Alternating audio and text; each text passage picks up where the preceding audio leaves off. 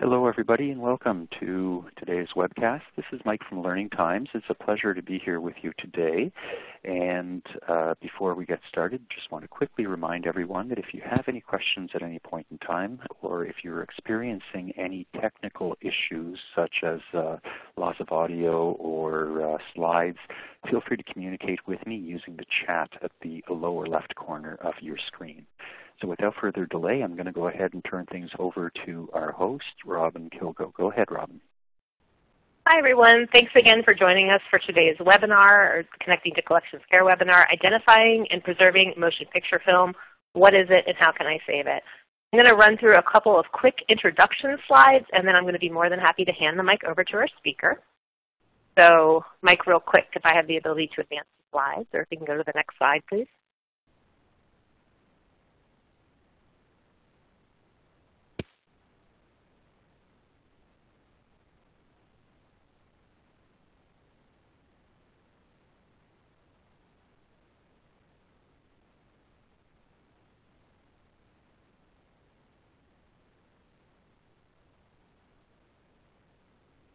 Well, I'll go ahead and introduce myself while we're waiting for that. My name is Robin Bauer Kilgo, and I am the Community Coordinator for C2C Care. And you just heard from our uh, producer, Mike. As he said, we will be able to help you out in the chat box if anything happens, so feel free to put the information down in there. Um, along with that, I want to go ahead and introduce you to our community and welcome to any of the new listeners that might be here today. Um, we do have a home on the website, which is connectingtocollections.org. You are more than welcome to go to that website to see, find some fabulous resources that might be of use to you, or also to just go ahead and poke around to our archives of our webinars. Thank you, sir. Another important part of our website is the community platform. Um, you can reach it by going to our main website, hitting the discussions tab, or by navigating to that little hyperlink that's located on the screen below, community.culturalheritage.org. That community is a great place to pose questions to conservators who are monitoring the chat. If you have a specific question about collections care, please do feel free to post in that community. You can also find us on social media on Facebook at the C2C community, or you can follow us online on Twitter at C2C Care. Um, both of those platforms are pretty popular. We post announcements about new webinars coming up and a lot of other fun information going on in our community. Real quick review of our platform. Um, as, you, as we said earlier, there's that fabulous chat box down in the bottom left-hand corner. Please do feel free to post questions throughout the webinar. Um, our speaker will be posing some questions during her talk. But we'll also, uh, I'll keep an eye on it, so if someone has a question right then, we can always copy it and we will try to address it at the end of our talk today. We do have an upcoming webinar coming up called Looking at Glazing, Finding the Best Solutions to Protect Your Works of Art and Historic Artifacts. That one's happening March 25th from 2 to 3, 3 excuse me, 3.30 p.m. Eastern. Our speaker will be Yadin Larochette. So please do feel free to join us for that webinar. And as with all of these C2C webinars, they are free. So if you want to go ahead and register for it, that would be wonderful. Without further ado, I'm going to go ahead and introduce our speaker today. Our speaker's name is Criss Austin. She is the supervisor of the Motion Picture Preservation Lab at NARA. Over the course of the last decade, she's overseen multiple preservation and digital restoration projects and recently completed digital preservation of William Wyler's outtakes from the Memphis Belle story. She is an active participant in multiple moving image professional organizations and in creating technical guides for archives, libraries, and museums. Without further ado, I'm going to hand the mic over to Criss. Hi there. I'm very happy to, to be presenting to you this afternoon, and I'm only slightly less nervous than I would be if I were doing this in person. Um, I'd also like to say thank you to Heather Galloway of Galloway Art Conservation for bringing this opportunity to me.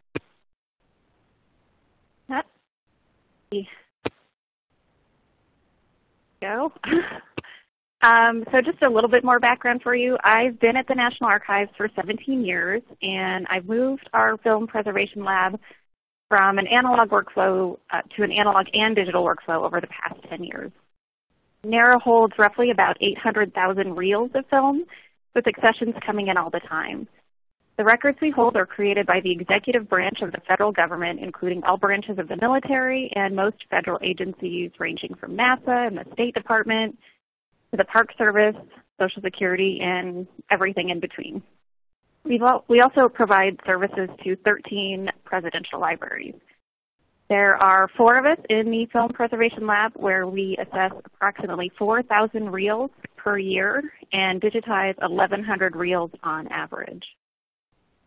Uh, during the webinar, feel free to post questions into the chat box. I'll try to stop after each section to see if there are any um, questions that um, I can answer, you know, sort of quickly.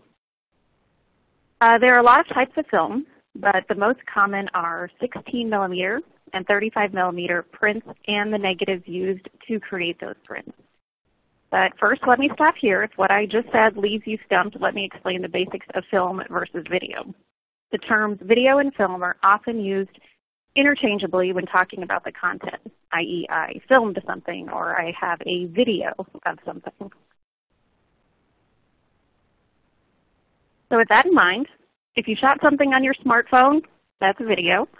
If you inserted it into your VCR in 1994, that's a video. If you used a projector, which in its most basic form is a machine that moves a strip of plastic past a light source at 24 frames per second, then you have a film. The most elementary difference between the physical object of film and the physical object of a video is whether the content is visible to the naked eye or if you need a machine to see what's on it. If you unwind a reel of film and hold it to a light source, you'll see individual images called frames. Mm, let's see, Mike, I think you mentioned that like I have like a, oh, there it is, the little pointer. Hopefully everyone can see me pointing at things. Um, on the sides are perforations here that are there so that a projector can pull the film through and create moving images out of a succession of still pictures, which may also be accompanied by soundtrack. If you have a video, it will probably be in a cassette, but not always. You won't be able to see anything except a brown strip of plastic. The videotape requires a machine in order to view it because the visual information is an electronic signal that's recorded magnetically to a piece of tape. If you're attending the webinar because you're interested in video preservation, I won't be offended if you sign off. the focus of this presentation is on motion picture film, and I'll only cover video file formats while reviewing digital preservation options a little later on in the presentation.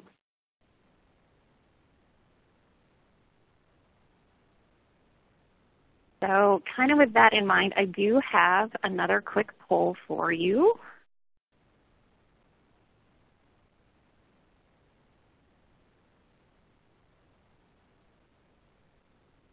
I'll pop up here soon. Um, the primary characteristic by which we refer to film is the gauge. Gauge refers to the width of the film and can range from 7.5 millimeters wide to 105 millimeters wide.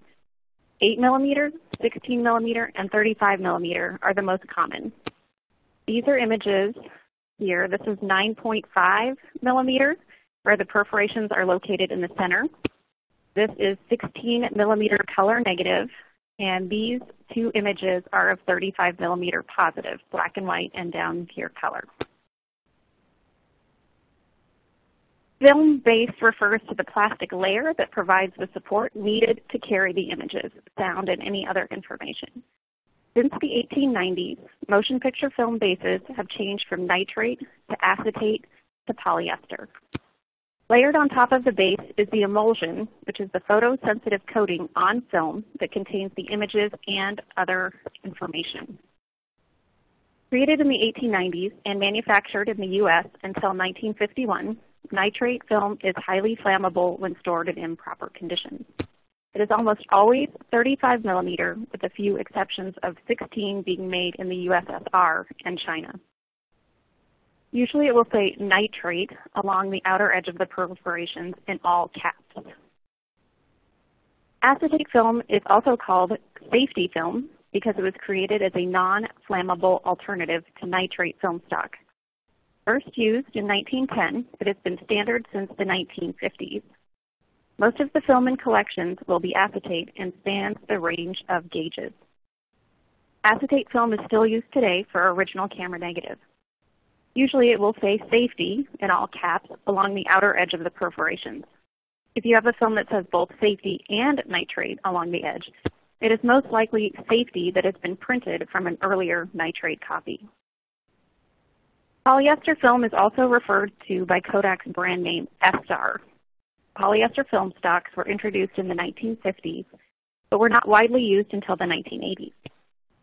Today, polyester is used for theatrical print releases and for creating preservation copies.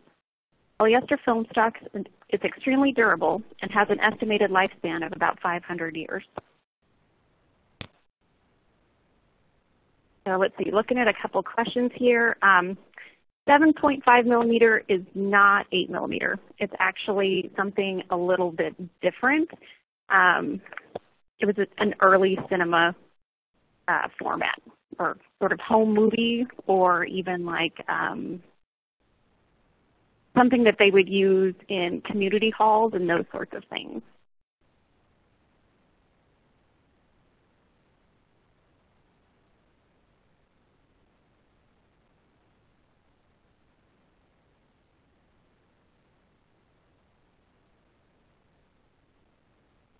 Uh, so film elements. A film element may be any type of film that goes into making a finished title or the finished title itself. Black and white prints or negatives, color prints or negatives, and soundtracks are all film element types. Usually these elements will have leader on the beginning, what we, what we refer to as the head, and or at the end, which is what we refer to as the tail of the film.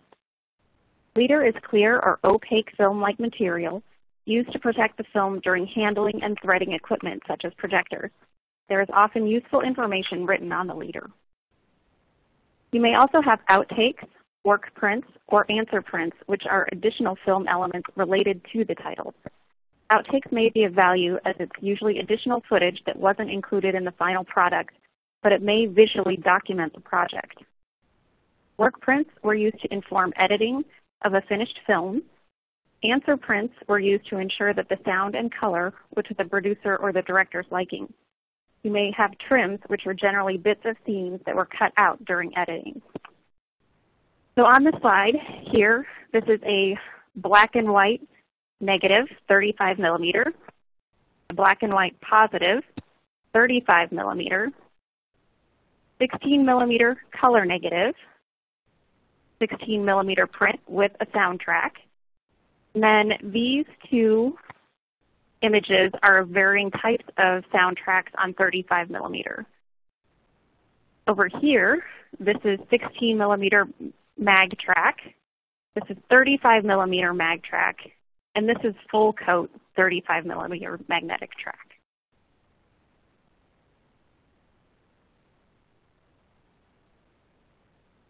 Uh, to answer um, Jeanette's question, about um, it, about a certain date and any film after that being not nitrate. Generally, it's safe to say that any film after 1951 is probably not going to be nitrate. And acetate was created as a safety alternative in the teens.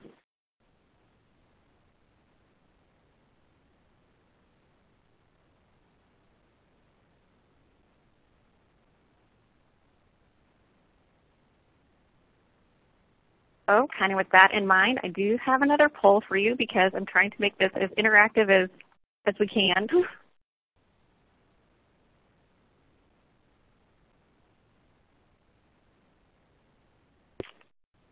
Uh, so over time, motion picture film ages. The condition of a film is affected by how well the stock was manufactured, how the film was developed, and whether or not it's been stored properly. Film in good condition will be flexible, have little to no odor and will, have, and will not have faded or exhibit other optical defects. Film in poor condition may be brittle, shrunken, give off an unpleasant odor, or exhibit muted or faded color. One of the first indicators of film decay is smell. Uh, before we move on, I'd like to stress if, that if there are any signs of decay or if you're unsure of what you'll find in the can, you should always, always, always open the lid to the can away from your face or body.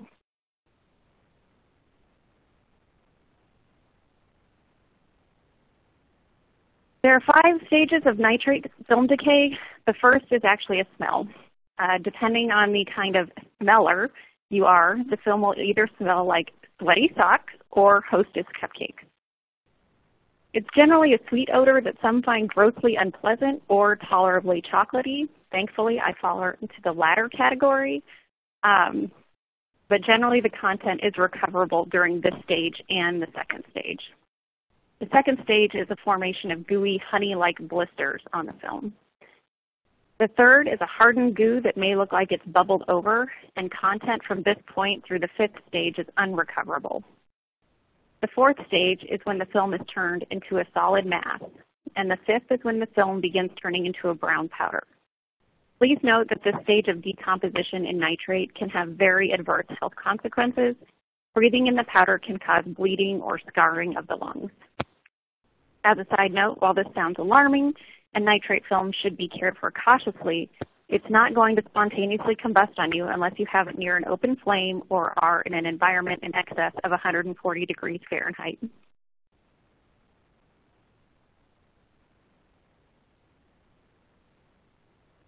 Vinegar syndrome is the most common form of deterioration in archives, and it smells exactly as it sounds like it would.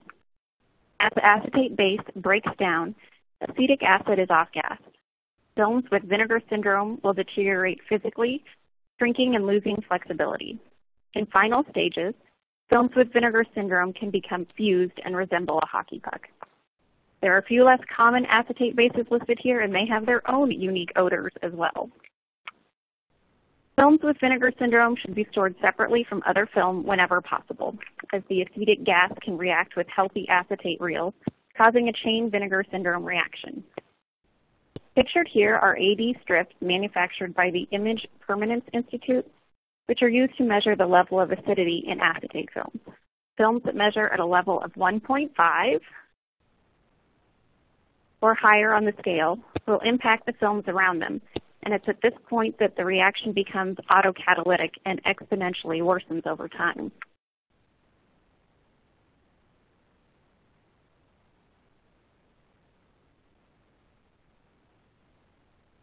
Nitrate and acetate decay are also impacted by and impact mechanical decay. This is a list of the most common ways your film can go wrong. After vinegar syndrome, the second most significant preservation issue is shrinkage. Shrinkage can occur horizontally and vertically across the film and can impede playback. Shrinkage will always be present with brittleness, crack, tears, warping, and crazing. The images here are examples of crazing, where the base and the emulsion layer shrink at different rates, resulting in ridges or channels in the film. Ferrotyping is a result of the emulsion being pressed against another surface when the emulsion isn't dry, resulting in an imprint of what it was pressed against. Emulsion fogging is when the base and emulsion layers begin to separate, allowing air in between the two layers. These conditions may be a result of poor development and drying when the film was first created, but is generally a direct result of poor storage environments.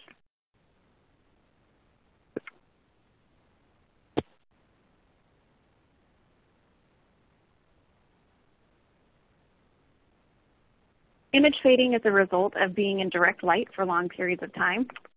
Luckily, this is something that occurs rarely, as most film reels are, film reels are contained within cans or boxes. Dye fading is a much bigger issue for motion picture film, particularly for print films created in the 60s through the early 1980s.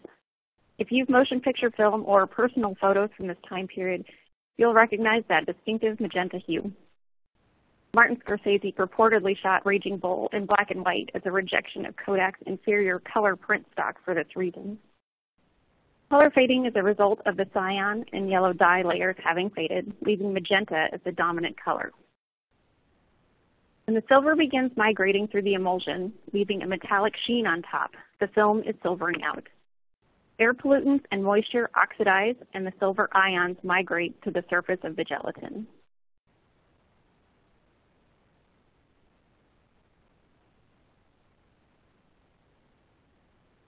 Biological decay is a result of all things creepy crawly. Uh, mold is the biggest culprit as a result of water damage. In addition to growing over the reel, the mold eats into the emulsion, leaving etched patterns behind. Insects also enjoy eating emulsion and can become embedded within the reel. Animals are less of an issue, but mice are also known to enjoy sampling emulsion. Um, I've heard that emulsion is one molecule away from being the equivalent of jello. I've not confirmed this, but I guess that makes it exceptionally tasty. Uh, bacteria, like cholera, is very rare but can occur in tropical environments where natural disasters have occurred and contaminated water has come into contact with the film.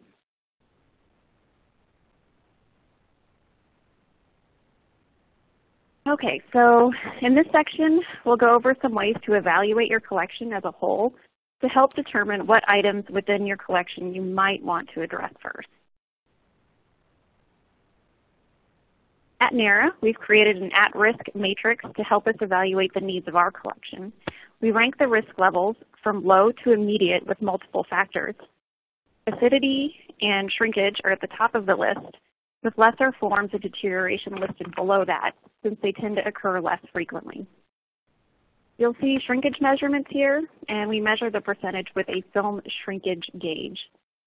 If you're interested in sampling the shrinkage in your collection, members can borrow a shrinkage gauge from the Association of Moving Image Archivists, and there's a link to this in the handout. We didn't include all types of mechanical decay in the table, but these can be factored in to make selections for preservation as well. One area that we're fortunate enough not to have to factor in is storage, as we have several vaults specifically dedicated to film. However, for your purposes, if you don't have optimal storage environments, you can use the Image Permanence Institute's storage calculators at filmcare.org to determine how long your film may last in its current environment and the link to that site is also included in the handout.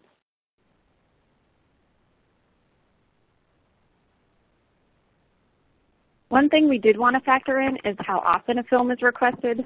So we have a category for polls per year, but this can be slightly misleading as we know that there may be a high level of interest in certain films because a lot of what we do is anniversary driven. So for example, a reel might get requested 18 times this year for the 50th anniversary of Apollo 14, but not again until 2045 for the 75th anniversary.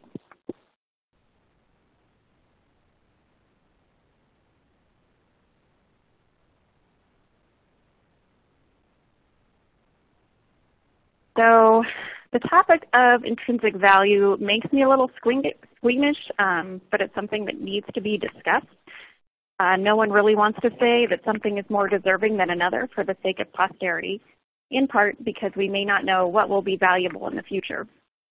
In any case, uh, think of it as your grant justification language. Uh, here I've pulled several considerations from the uh, NARA website. So uh, for number one, think about what makes this really unique. Think about, you know, point number two, is it really old and deserving of some extra care because that in and of itself makes it unique? and do people want to see this. Uh, if you go to the effort of preserving it, will people be interested? And uh, the image down there is of Apollo 11 from the 70 millimeter film that we worked with a vendor to uh, to scan for the Apollo 11 movie. So that would be an example of something that meets this particular criteria.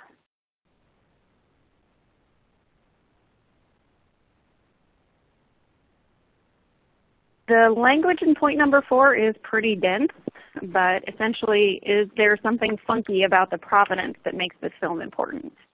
Case in point, if alien researchers come to NARA in 3046 and want to see the first photographic evidence that we hold of their earthly appearance in the Project Blue Book film, we'd better have it. For number five, are there famous people or significant events Number six, does it document something important or lost time? And then lastly, are there other copies out there?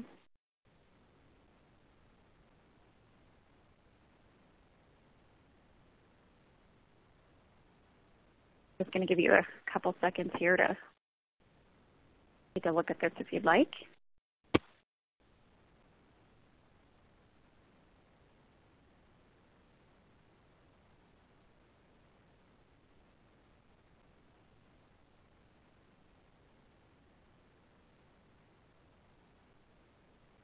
So now on to preservation. Now that you've a template to help determine what reels need preservation, what are your options?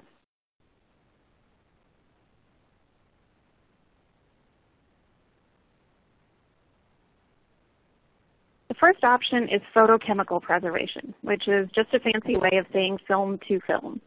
So we're going to create a new reel on stable polyester film stock that's a copy of the original.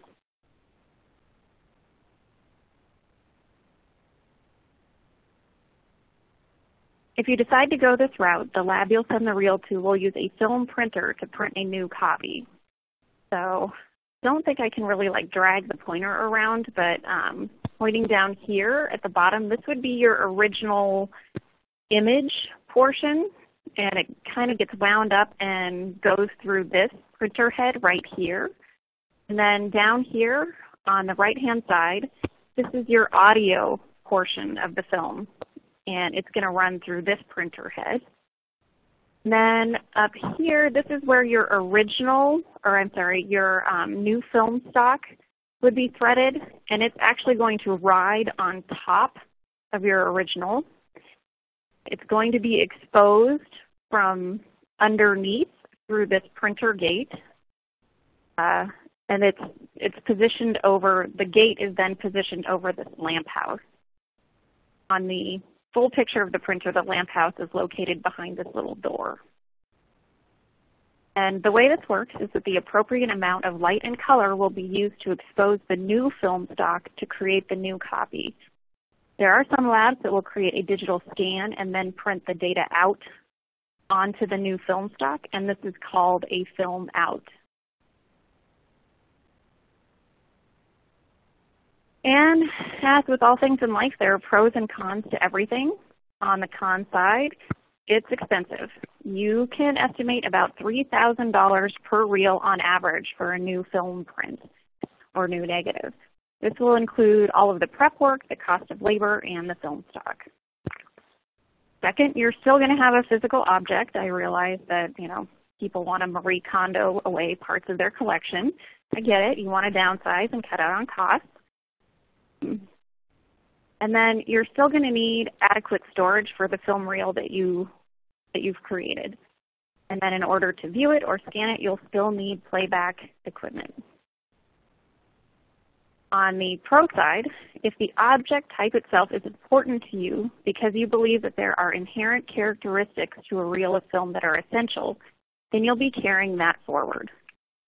Second, you'll have an object you can find later, it's not going to be in the cloud. It's not going to be on a drive. It's going to be on a shelf. And if you store your new polyester reel at 65 degrees and 45% relative humidity, that reel will last you about 483 years, which makes the upfront expense of that reel come out to about $6.20 a year for long-term preservation, which really isn't too shabby. Um, over the next 483 years, you will always be able to recover the content. And I'd like to keep you to keep those last two points in mind as I go forward.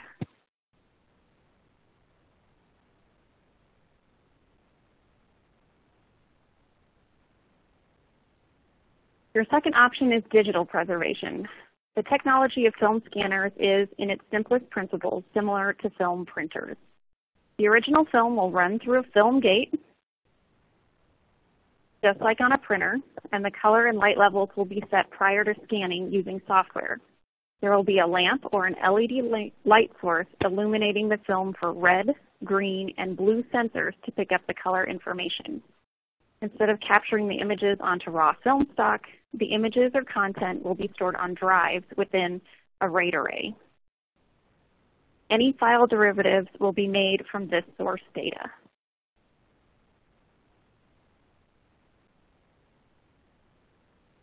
So what are the pros and cons here? It's still expensive. You can estimate about $150 per reel on average, perhaps double that if you're asking the vendor to do the prep work, cleaning, etc. And that's a lot less than a new reel of film, but there are additional costs beyond the initial transfer.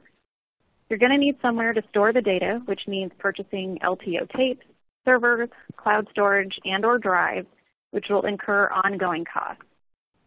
You may need to purchase hardware and software to access transcode, add metadata, and make the content available. When all of those systems age out, you will have to buy it again. You'll need the ability to do checksums and migrate your files to new servers, tapes, and drives. Not to mention that when the industry changes or file formats become incompatible, you will have to go back to your film. So if you think about the past a little bit, since 1998, we've gone from SD to HD to UHD to 2K to 4K, and we did the bulk of that in the past 10 years. And not to mention that 4K isn't even considered full resolution for film. 6K to 8K is, depending on the source material.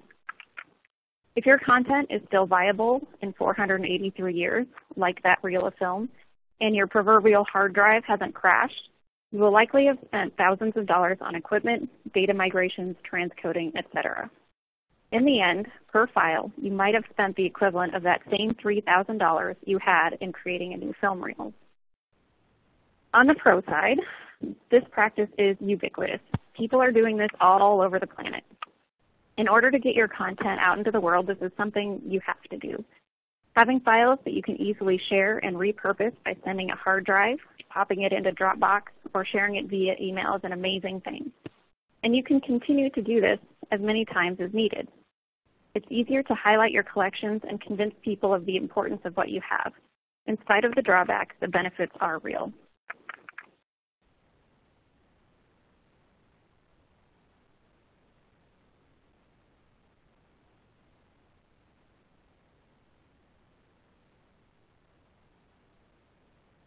So there's real digital preservation versus digitization. And it's useful to consider why a file format was developed for this purpose.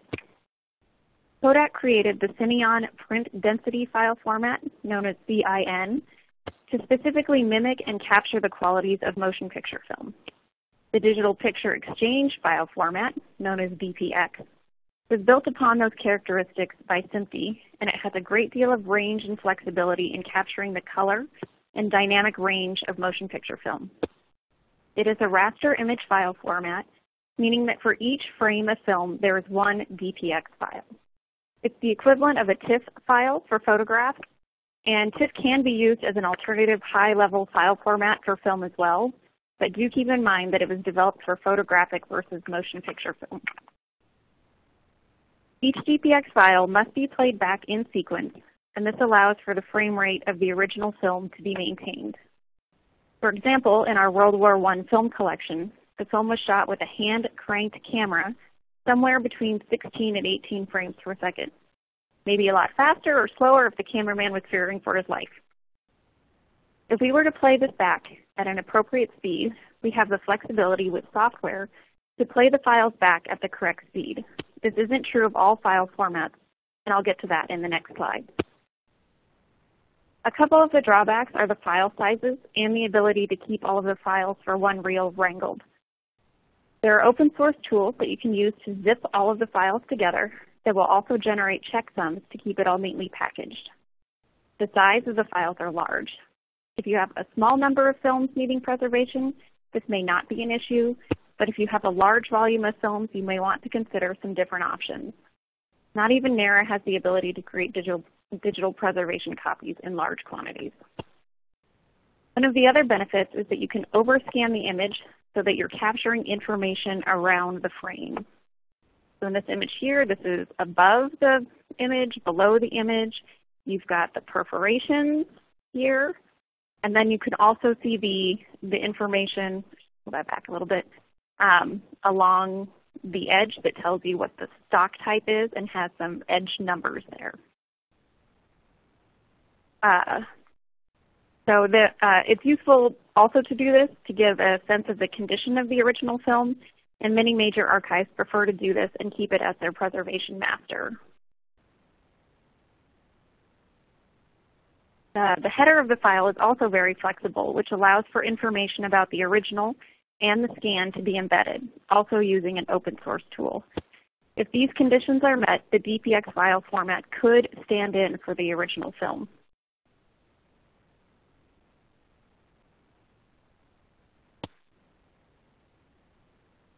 Uh, so uh, responding to Eric here, I would not recommend preserving audio on gold CDs um, or images, um, in part because even though they are gold, they still have a layer that the um, the information needs to be written to, um, and those layers can peel. I believe that the Library of Congress recently um, put out a report about the use of CDs, you know, whether it be your regular commercial off-the-shelf type DVDs or or the gold standard CDs. So you might want to take a look into that.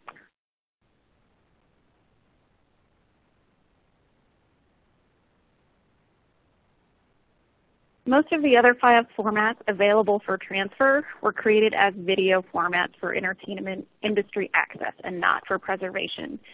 So this would be a case of what I would not call preservation, but rather digitization. This doesn't mean that the formats are inherently bad and some of them are adequate for reproduction master status, but you've got to know what to ask for. Regardless of the format type you choose, ProRes 4444, AVC, JPEG 2000. You should ensure that your film is being scanned at a proper resolution level for the gauge, just as if you were using DPX. You'll also need to ensure that you're asking for progressive frame rates, format that supports 24 frames per second, because most are um, 2997 frames per second, which is what the video frame rate is. You'll want to ask for lossless compression, etc. These file formats are for ease of distribution. Their frame rates are for video, and they are almost all proprietary with the exception of JPEG 2000. Even in the case of JPEG 2000, there are cross-platform compatibility issues, meaning that one workstation or software suite will play a certain file format while another one won't. Either way, within the suite of file formats, you should not assume that this file can stand in for your original film. One of the other things that I didn't point out on the previous slide was that DPX um, can be used on any um, operating system, so it'll you know, work well with Mac, Windows, and Linux. There's a lot to navigate out there, but you can sift through the Library of Congress's Sustainability of Digital Formats list to help, which is linked to in the next slide. The Digital Preservation Coalition Handbook also has helpful guidance, and I've included the links for both in the handouts as well. And I realize I might sound as though I'm anti-digital preservation. Promise I'm not. I'm in favor of a good digital preservation, um, in favor of good digital preservation with proper planning and infrastructure.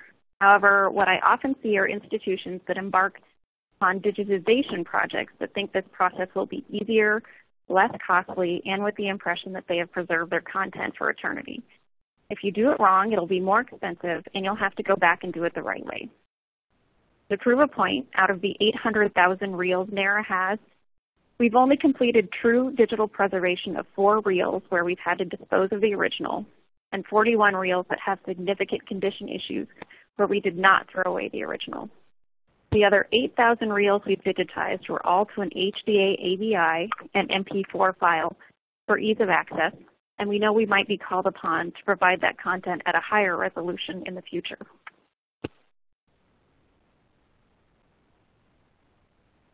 So to answer Annie's question, hi Annie, thanks for getting up and being here early. Um, a motion JPEG 2000 could be considered a preservation master. Um, as long as it's lossless, because there are lossy flavors of JPEG 2000. Um, and also as long as all of those um, other conditions are met, you know, you maintain the correct frame rate, um, those sorts of things. Uh, I know that the Library of Congress, that is one of their preservation masters, but I believe that tends to be more for video than for film.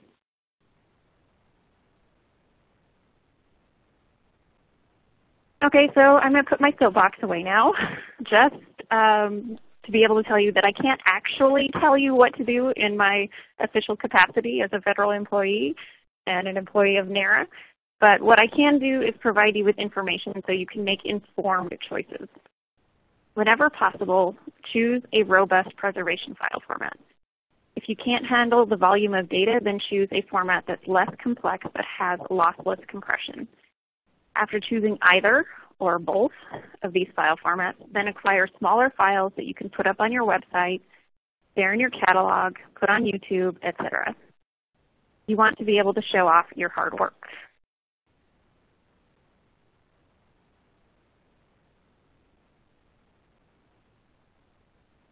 Best practice is to store your files in geographically separate locations on various types of storage media.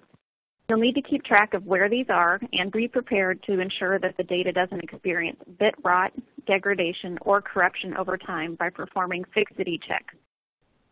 Fixity in digital preservation terms is defined as the assurance that a digital file has remained unchanged, i.e. that it is fixed. You also need to be prepared to migrate your data over time. As an example, the most current version of LTO tape is 8. It's two generations backward compatible, so if you've got LTO 6 tape, you better prepare to start moving it off to LTO 8.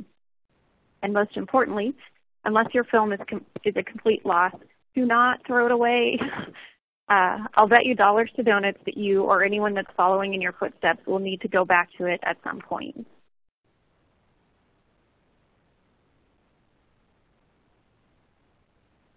So responding here to Jacqueline, any tips uh, for long-term care of animation cells? Um, animation cells should be stored similarly to like um, original negatives. So if possible, and I, I'm not exceptionally familiar with animation cells um, because I think, are they actually painted on the cells? It may be that um, the best method to take care of them is by freezing. But maybe, um, you know, you can feel free to email me and I'll see if I can um, point you in the right direction.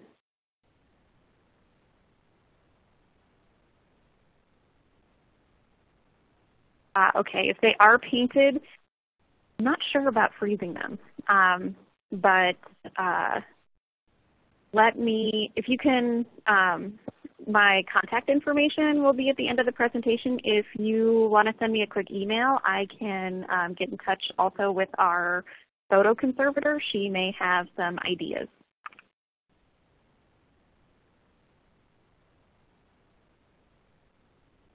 So what I can recommend are the following examples. I said two and a half examples because I feel like the last example is not exactly preservation, but you know, it, it's a good method for getting your content out there. Um, if you have the means, do make a new film copy and ask for a preservation level file along with ro a robust set of derivative files. This will likely only be possible with a small subset of your collection. If it isn't possible, then ask for a preservation level file and derivatives. You may be able to do this with under 100 reels must skip asking for a preservation level file, then make sure you're asking for the most robust reproduction files that you can manage.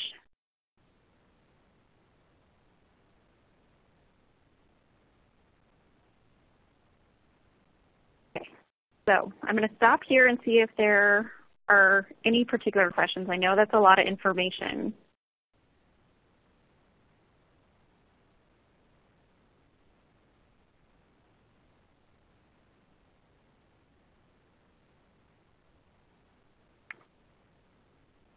Okay, uh, so now that we've gotten a crash course lesson in digitization and file formats, let's go over a few key points to, uh, about what to ask from vendors and a few key points on quality control at the end of a project. As I said, there's a lot of information in this section um, coming up as well, but a template can be found at the FADGI site, which I've linked to in the slides and in additional documents. It's important to have a statement of work to provide to a vendor before getting started. And if you can't sort out every point here, it's okay to have a discussion with vendors to help clarify what you might need. One of the things that I really appreciate about the film preservation community is that most of the vendors are great people who are really willing to help. If you need help identifying a vendor that can assist you, the Association of Moving Image Archivists Global Supplier Directory is a good place to start. I've linked to this in the handout as well. So in your statement of work, you should include a brief paragraph about your mission and why you're preserving or digitizing these particular reels. Next would be a brief description of the project goals, such as the objective of this project is to obtain HD files which we shall provide to requesters as a source master for their needs. We will provide the original films to vendor XYZ, who will undertake all duties described in the statement of work. The volume of work is approximately 33,000 reels of, or 33,000 feet of 16 millimeter material. If you need to provide definitions for the project, number three would be the appropriate spot. As an example, the quote, original for you might be 40 reels of 16 millimeter black and white print film from the 1962 World's Fair in Seattle. Uh, a longer description of the type of film would go in section four, whether or not the film has copyright claims, if the film is fragile, if the film will be prepped prior to being sent, and any additional characteristics that might be important.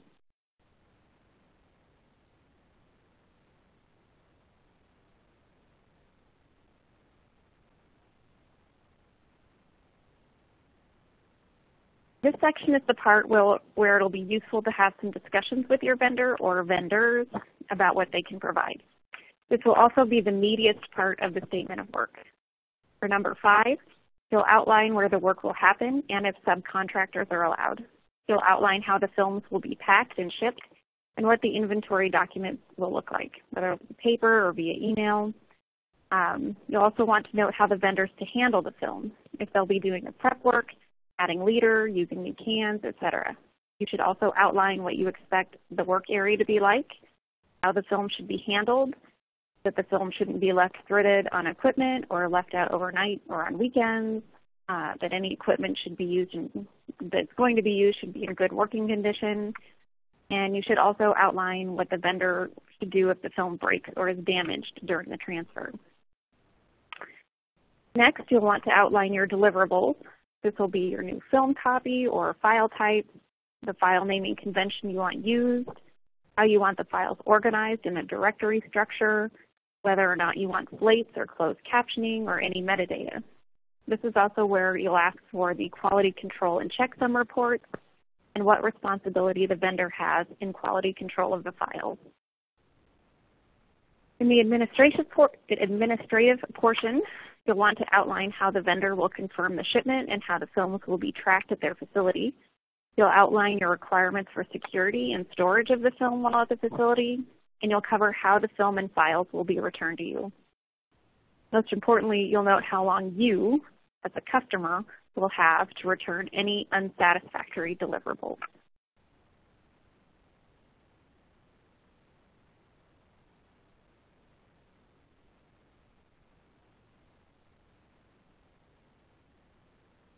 So payment, everyone likes to get paid. Uh, this section will let the vendor know when they will be paid. If you've gotten your funding through a grant, this may be stipulated there. Um, this may also be the case uh, for timeliness. Either way, you'll want to let the vendor know how long they have to do the work. And here's a link to a sample statement of work. Responding to Pamela, um, there's not really, there's not necessarily like a, a length for a vendor or grant proposal, um, I would direct you to, and it's in the handouts as well, to look at some of the grant proposals on the CLIR website, the Council for Library and Information Resources. Their Recordings at Risk program has um, samples from some of the projects that have been funded, and then um, that's a good place to look. And then also going to this digitization guidelines FADGI scan um, or FADGI scanning document um, and with the sample statement of work is also a decent guide. Um, so uh, responding to Rasha, the most stable type of film at this point in time is polyester film stock. Oh, I see. Uh, Pamela, is there a way to um, measure the length of film itself? Um, if you don't have a film synchronizer, there is a great little tool on the Scene Savers website. I'm not sure that I did link to this, but um, can, I can pop that in here really quick. Um, at the Scene Savers website, they actually have a a tool that you can, sorry, I'm trying to Google this at the same time.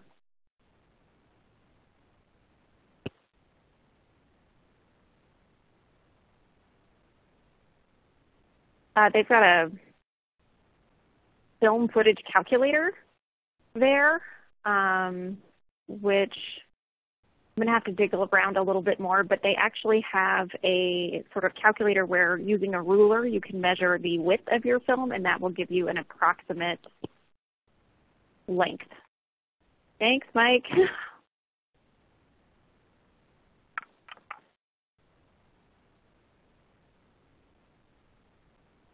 okay, so moving on. Um, this is the least exciting part of the project, but it's probably the most important, quality control. If you have a small number of files, you'll want to do 100% visual QC. If you have a larger number, pick a percentage to check. And you'll want the vendor to provide you with a QC report upon delivery, and then you'll want to create checksums when the files are on the delivered hard drive, and then again when you move them off to a new location. You'll then compare them to make sure that the checksums match and no data has been left behind. You'll also want to do this whenever you copy a file to another location to ensure that they match. Ideally, you should have them in three locations, but at least two. If you don't have the ability to do this yourself, consider reaching out to a local university or sister institution. And uh, take a look into a couple of different cloud storage providers. Doing a quick search for best cloud storage services for video is a good place to get started. And then consider keep, keeping a set of files on LTO tape. And make sure that if your files are being stored in the cloud or on servers, that regular backups are occurring. At regular intervals, you'll want to check all of your files in the places in all of the places that you've stored them for fixity to ensure that no changes have occurred over time, which equals loss.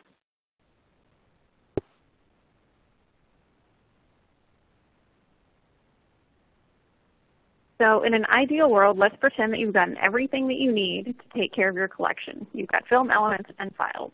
What should you do to go forward? For your film, temperature is the key. Cool and dry is the way to go. If you have a small amount of film, a frost-free freezer may be your best bet.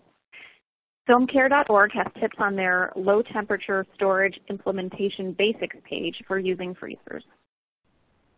When possible, make a plan to check in on the collection on a regular basis.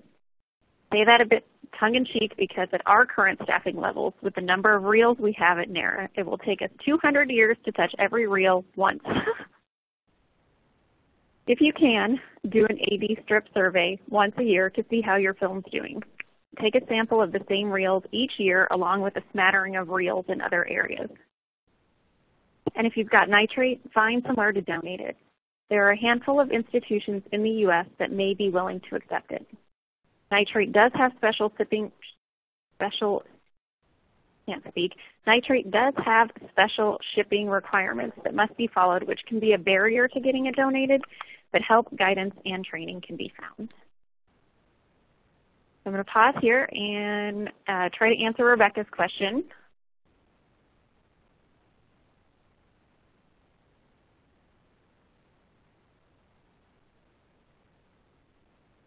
Uh, so uh, yes, I would recommend removing the film um, and letting it acclimatize to room temperature.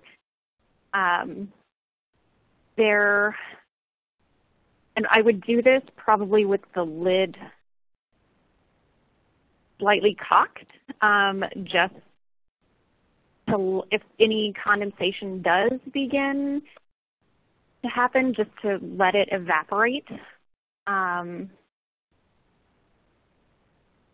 and then um, I believe that on that same website for IPI, they link to um, particular types of bags that they could then be placed in and then put back in the freezer.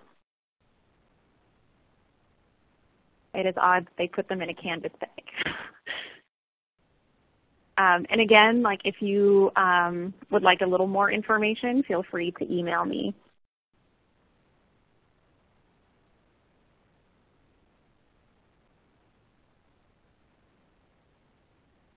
For your digital copies, going back a few slides, regular backups, checksums, and fixity checks are required. The sooner you find an issue, the more likely it may be that the data can be recovered, particularly if you've got copies stored in multiple locations. Uh, you'll also need to make sure that you're budgeting costs for continued storage, migration, and access to your files.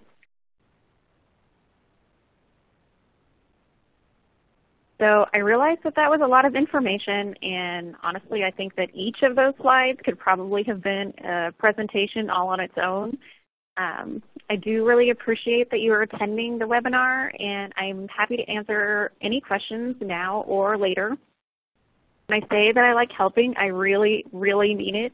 Um, I always like answering questions and being helpful, so please feel free to reach out, and I'll be glad to do whatever I can. Hi, this is Robin again. Criss, thank you so much for that presentation. You, um, I had been emailing you about this earlier. Some of your slides were answered some of the big questions I always had whenever I was working on grants and things, just like what kind of file type should I ask for and that kind of a thing. So it, it was really useful that you included it that in there. So thank you. Um, yeah, you're welcome. Please, please feel free. If anyone has any other great questions or anything else, feel free to throw those in the chat um, and I'll be sure to pass those along to Criss. Um, you know, the other funny thing I was thinking while you're doing your presentation is just how much the file type question has changed. Like even in the, like the, me think, 15 years I have been in the field, how different things are. Because even when I started out in um, undergrad, people would talk about zip files, like those big chunky cassette files all the time, and like you don't even see those anymore for backups and digitization and that kind of stuff. So it's really interesting to kind of see what people are recommending, what they like to do now. That was really cool. Well, and one of the things that I like to recommend is to actually choose a file format that is not changing all the time. um, mm-hmm. Because the more it changes, the more difficult it becomes to deal with later. Um, so something like DPX is good because there are only two versions and it has hardly changed in, you know, gosh, 30 years. Uh, AVI is another example of something where everyone wonders, like, why, NARA, are you using this dinosaur of a file format? well, that's because it doesn't change. Um, we know yeah. we're going to be able to play it on just about anything. Um, so let's see. I do see a question here from Annie. Uh, is there value in freezing really deteriorated film? At this point, you have un some that are almost unplayable, and some that are definitely unplayable. Um, that's that's a difficult one because I I want to say if they're unplayable now, freezing them is not going to make them playable later. Um, it's probably going to be a matter of needing some other chemical intervention like replasticization. So if you think that you are going to have the funding later on to deal with that process, go ahead and freeze them. Uh, you know, I don't want to. I don't want to tell you to throw them away, but uh, if they're really that bad, um, I don't know that freezing them is necessarily going to make them any better. Um, but you know, who's to say there may be some sort of you know technology later on that could make them pliable. Uh, I know that at uh, the Association of Moving Image Archives conference this past fall, there was a whole session on replasticization.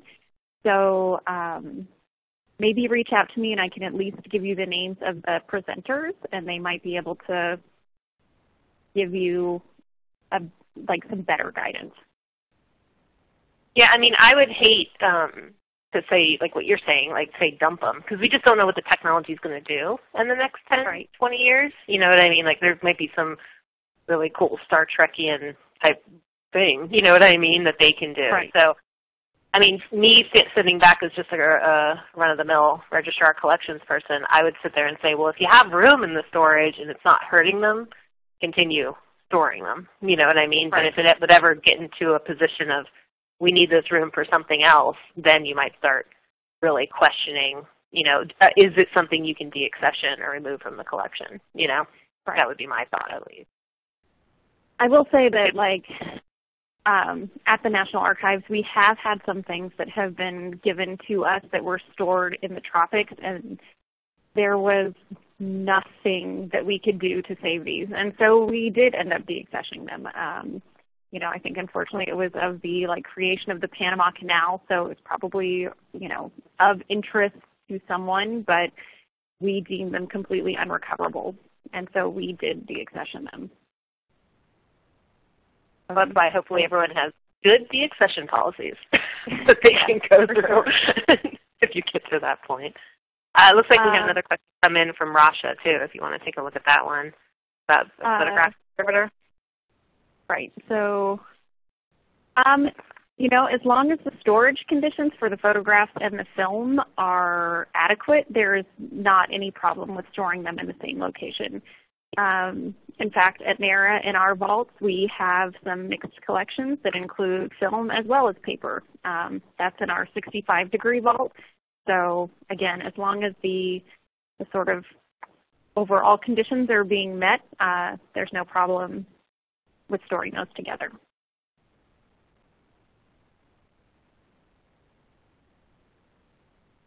You know, the other interesting thing I really liked um, was your discussion about the gold CDs earlier, because when I first started um, back in the day, those were like, yeah, put everything on gold CDs. Like people would talk about that a lot. So it was really interesting for me to hear kind of your comments yeah. on those. For sure. Well, and honestly, we had um, like we, you know, probably in the 90s or early 2000s, we had several um, collections digitized and put on gold CD. And now we're in the process in the audio and video preservation lab of pulling all of those files off and you know storing them to LTO and on servers just because we don't trust the gold CDs to stick around. Yeah, and that timeline works out from when I was in school. so that means from starting out my career. so that that would make sense why I remember learning so much about gold CDs. Um, it looks like we have a question from Jadine Young. It says, what are the benefits of LTO versus cloud server storage for digital files? Um, so I would say that the there, like everything, there are pros and cons to each. Um, LTO I would say the benefit there is you have something in your custody that you could get the information off of versus a cloud or versus a cloud, um, which is different than a server. So, I mean, things in the cloud are stored on a server, but if you're accessing them only through the cloud, um, you know, there are additional considerations like what are the terms of you know, keeping that in the cloud? Um, are you paying for that? Are you not paying for it? Um, are you always going to be able to access that file? Um, and servers, um, you know, again, pros and cons. You have something on site that's pretty easy for you to get your uh, files off of, like versus LTO tape where you would have to have an LTO drive. If it's in a server, you could, just using your regular desktop computer, you could pull those back. Um, but then you also have to make sure that you're maintaining that server. So being able to keep a copy on all of those different media types um, is kind of the best way to go. But uh, I guess if I had to choose, like if I had to pick two, um, I might go with the server and the LTO. Can you remind us what LTO stands for? Well, I linear. I don't know. it's one of those terms that uh, that I use all the time, but I don't know that I actually know what the acronym is for. Gotcha. No worries. It's sad and silly of me. sure, we can Google it at some point and post it somewhere.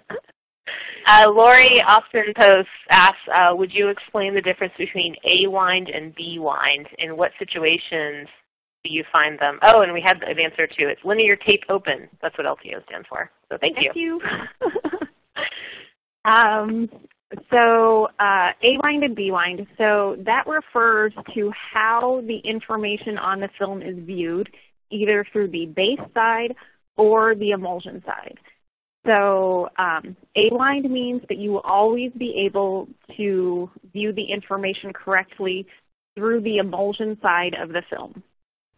B-wind refers to being able to read the information correctly through the base side of the film. For 35 millimeter, positives should always be A-wind and negatives should always be B-wind. If not, then you have a problem and it was printed incorrectly in the first place. For 16 millimeter, um, positives and negatives can be either A wind or B wind. And it really depends on what the originating um, the originating camera original was because you can have reversal, original reversal film in the camera, which will be positive and be B-wind. And then depending on how the next generation copy was printed, it can be A-wind or it can be B-wind. Um, so, but the easiest way to figure it out is the correct information A-wind is through the emulsion, and the correct information through the base is B-wind. Excellent. Um, we have a question from Elizabeth Cesar. says, I understand the point of checksums and fixity. We are generating them as we digitize materials. But as a lone arranger, I'm stuck on the going back and checking them part. Can you set that up as an automated process with either the same program that generated the checksums or with a different one? And just generally, how are people accomplishing that? Um, I do believe that there are some automated ways to do this. Uh, if you go to the FFmpeg website, I believe that they have sort of like command line programs there that you can actually, um, they're all open source. You can use those to generate um, scripts that will do that for you automatically. We, oh. go ahead. Oh, I we um we we have like a we have a program, a background program running that does that automatically for us. So it is automated. Um, and I have to admit, I'm like not an IT person, so I'm not exactly sure how that is set up in the background, but it can be done. Yeah, I was just going to say automation can be your friend and that kind mm -hmm. of a mm-hmm. thing. That's for sure. Okay, I think we got our final question now, from Daniel Fish. It says, for preserving purely audio from magnetic tape, could polyester film be applied here, or this, or is, is there an equivalent you would recommend for that process? So um, if you're talking about mag tracks, which are specifically used for film applications, um, we do actually print out um, new optical tracks on polyester film for things that sort of rise to that level of preservation need. Um, otherwise, we create purely broadcast wave files and save those as our preservation master. Um, if you're talking about like quarter inch audio, um, there are, I think there might be only one sort of boutique quarter inch um, magnetic tape creator um, that you could theoretically you know, make a new quarter inch audio reel for, but because it's boutique, the quality between the batches could be questionable. Um, so I know that for our, our audio and video preservation lab, they're also just creating broadcast wave files and um, maintaining them on LTO and servers. Excellent. Thank you. Well, I think I'm going to go ahead and say thank you so much, Criss, for taking some time today to go through that pretty complicated but easily digestible topic for us. You really broke down some portions of it, which I really appreciated. Um, yeah, sure. And there, oh, sorry, go ahead. I was say, and again, like really, I do encourage people to get in touch. Um, really, I really like answering people's questions and like making it possible for people to understand the stuff. It's it's a lot, um, and there are so many like varying complex pieces that I realize it can be overwhelming. Yeah, but you made it, like I said, you had some key slides in there that I really appreciated as someone who dips their toe into that world every once in a while. So thank you very much. I'll remind all of our attendees that there are links located on the left-hand side of the screen. They're the fabulous handouts that Criss helped put together. We also have a link to our survey, so please do take that. Um, that does affect how we do future programming for C2C Care. So if you can fill out the survey, it's always appreciated. I'm going to be aiming to get this up on our website, Connecting to Collections Care, by the end of the week, potentially Monday, but I'm going to really shoot for end of the week. And I just again want to say thank you to Criss and to Mike for our technical help. And we will see you all in March for our next webinar. Thanks again. And have a great afternoon.